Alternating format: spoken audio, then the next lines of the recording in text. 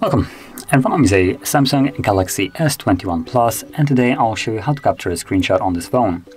Now to get started, all you need to do is open up the content that you wish to capture, and for me I'm gonna use settings as an example.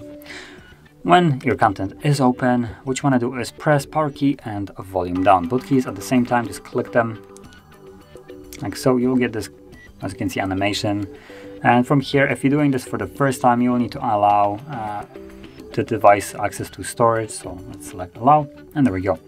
And also, again, if you're doing this for the first time, it will bring up this window um, giving you a little bit of an overview of the toggles. But briefly, we have the scrollable screenshot right here, which if you tap on it, it will scroll the content a little bit down and make it a longer screenshot. Then we have edit, uh, share, and I'm actually uncertain what that is. So let's tap on it, tag, so we can add tag to it. So let's read that again when I tap on it, I just kind of messed it up. So let's uh, actually go back to it. There we go. So now I can tap on the scrollable and as you can see it will automatically scroll a little bit down and keep capturing a longer screenshot.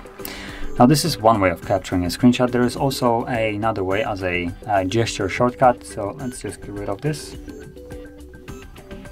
So what you do is using your palm basically this side right here, you swipe across the screen. There we go. And as you can see, there is the screenshot. Now I can do, do that once more. Make sure you get your palm basically from the edge of the screen and swipe it across and that will, that should work. Now, all those screenshots that I have captured can be found in our photo gallery. So if I open it up, you can see that there they are. Even the scrollable one so yeah.